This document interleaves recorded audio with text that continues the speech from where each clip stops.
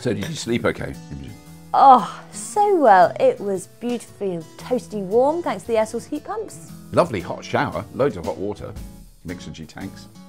And my car was charged to 90%. Oh, I mean, what more could you ask for? We are staying at a zero carbon bed and breakfast in Rye in the south of England. And this is the Everything Electric Show.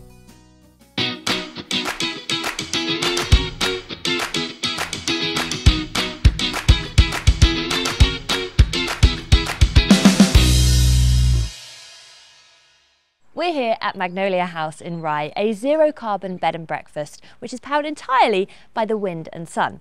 Now, this building was originally built in 1910, but in 2019, Javed and his wife Judith, they bought the property, have spent time rebuilding it and installing a load of clean energy technologies, many of which we have actually featured on the channel before, but never in this particular combination and certainly not for a property of this size. And there are a couple of bits that we've never featured on the channel before, so we're really excited to go and take a look. So 2019, that means that you had an exceptionally busy lockdown. Yes, that wasn't planned. The building work started two weeks after the first lockdown was announced. The nine month project then took me the full two years over lockdown, where I project managed this place myself and did a lot more work myself and ended up with a place that I really wasn't intending to because I had that much time. So does that mean that there were more things that you implemented that otherwise you might have thought, well, we'll go for the quickest route? I knew from the get-go that I wanted to have solar panels. And after they turned up, that's when I started to go down the whole, can I actually get this to carbon zero? It wasn't something I started out to do. I just wanted lower energy bills. What I ended up with, because I had the time and was watching lots of YouTube, um, I thought actually it's not a great leap to make this completely carbon zero. And once that's done, it's permanent. But I suppose that's the thing. Once you set yourself that target of zero carbon, I imagine you become quite competitive with yourself. Yes, it becomes a bit of an obsession because once the gas was disconnected, which was in June 2023, um, it was a bit of an anticlimax because I thought, oh, there's no gas, and suddenly I'm zero carbon, but so what, effectively? And it's only after then that we thought, actually, we started started off with being zero carbon, but what's our actual value here? And the value is, can we be sustainable? That has driven all the other processes, like the um, we don't use single packaging anything's in our guest rooms. Um, we buy and make as much as we can ourselves. Mainly it's a better product, but just to save on the packaging that comes with it.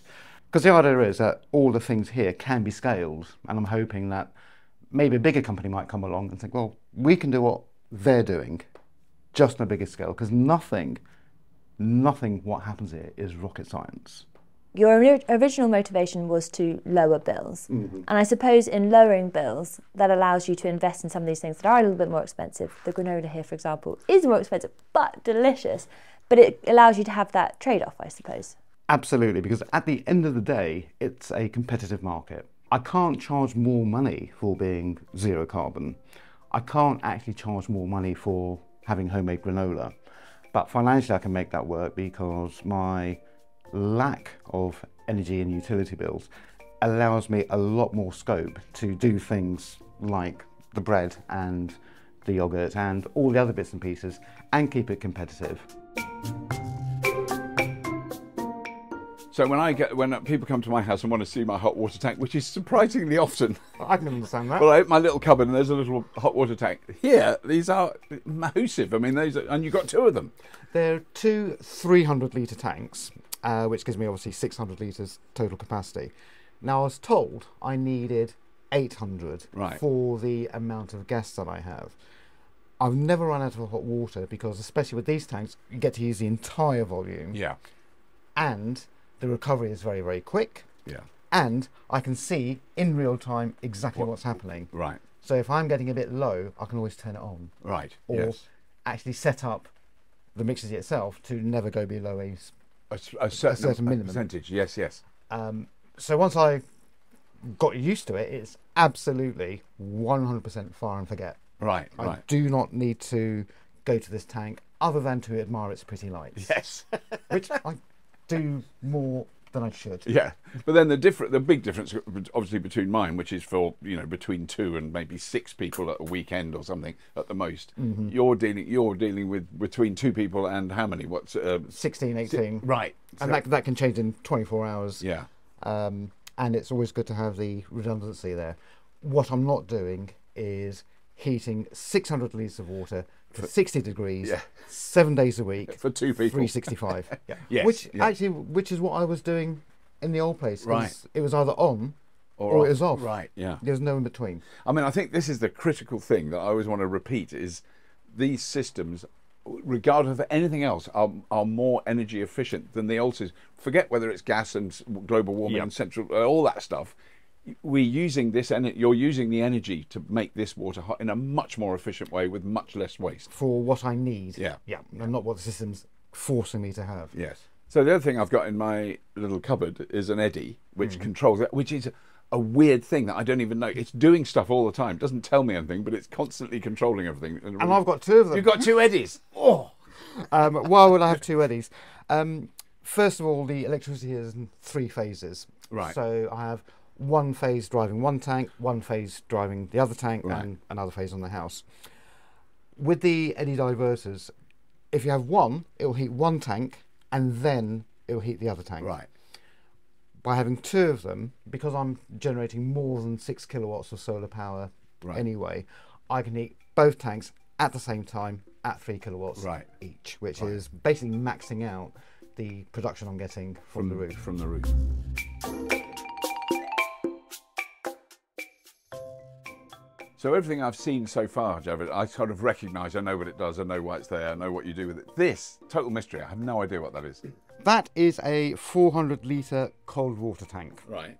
And the reason why I need it is I have a standard domestic 25 mil water main connection coming into the building. Right. Oh, So it's like you've got single phase water as Yes. opposed to three phase. Purely domestic stuff for amateurs. Right.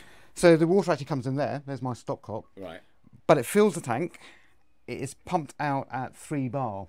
Anytime anyone opens the tap, it's coming out at three bar. Right. The- Anywhere in the building. anywhere in the building. Anything past this. So it also means that the central heating system never gets overpressured. Right. Right. Everything is run at the same pressure, which is um, really good for my expansion tanks, the pumps, and everything else. It also means that with the taps and showers, everybody you can open up all eight showers, Never even thought of that. Yeah, I've got two showers, and there's a, sometimes been and you've got to arguments. coordinate them. Yeah, yeah. haven't you? Yeah.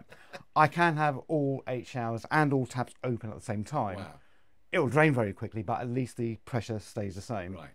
and because they're all you know water efficient towers as all of them are these days they work best at three bar Right. so i'm getting the efficiency there as well And just for people who don't know anything about water pressure, it, you, on your average water pressure coming from the mains, I don't know what how many bar that is. Is that around three? that, that's around three right. So this maintains that even if Yeah. you're- there's more demand.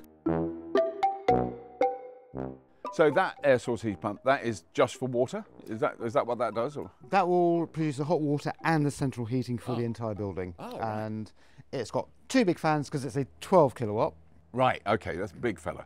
i've i installed it obviously before everything was done Right. And took a bit of a guess. I've subsequently been told, after having done the heat loss and everything else, I could do the same thing to the building with a seven kilowatt, So that is in fact oversized. well oversized. Right. Right. Oh, that's interesting. Um, what is even more interesting is when I was getting the spec by gas engineers, they were telling me to have two of them. wow. So I could have had 24 kilowatts worth of air source heat pump on two machines. I actually needed a small domestic seven. Wow. But then these two up here and those two over there too, are they specifically for individual rooms? Is that what their Yeah. purpose is? The wall mounted ones are air to air uh, heat pumps. The way I use the central heating now is when it's on, which is only for five months of the year, Yeah.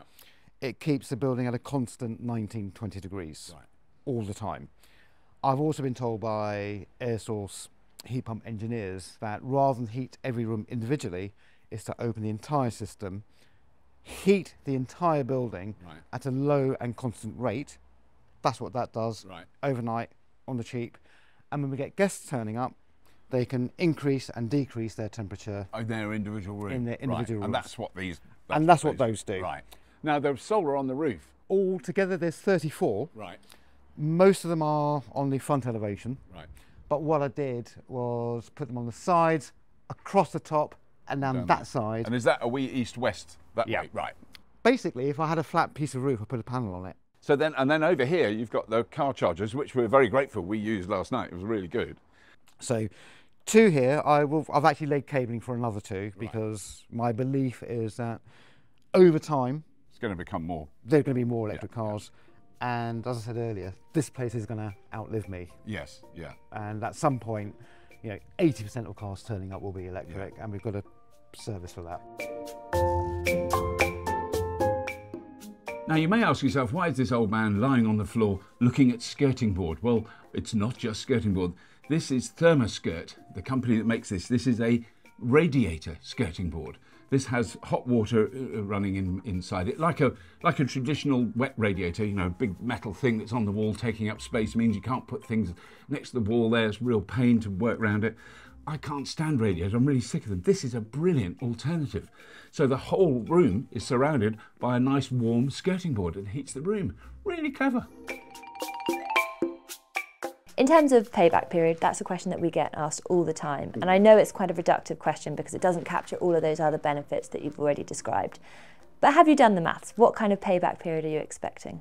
done the maths, and maths keeps on changing because there are so many ways of skinning this cat. Firstly, I needed a heating system anyway, so I would have spent money regardless on something. So, do I count that or don't I, for a start?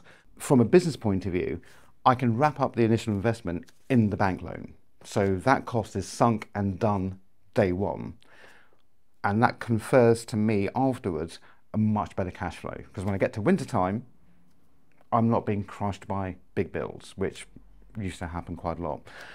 In raw financial terms, because the energy prices spiked so hard, my payback went from seven years down to less than four.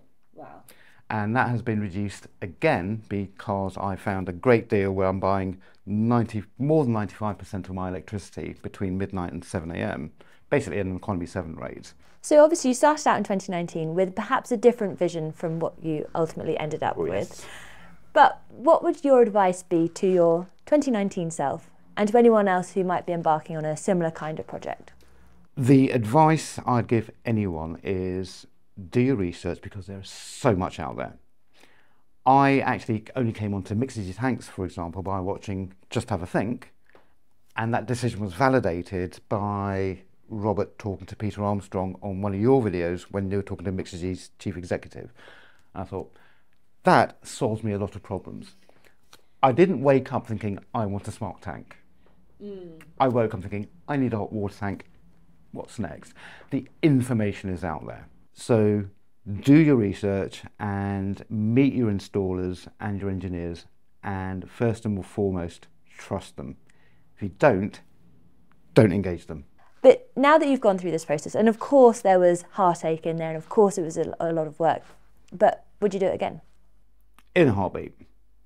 Other benefit that I ended up with, which purely only realised after it had happened, was with the systems I have, I now have a lot of uh, resiliency. If the air source heat pump breaks down and can't give me hot water, the mixer tanks have heating elements, so they can kick in, or vice versa.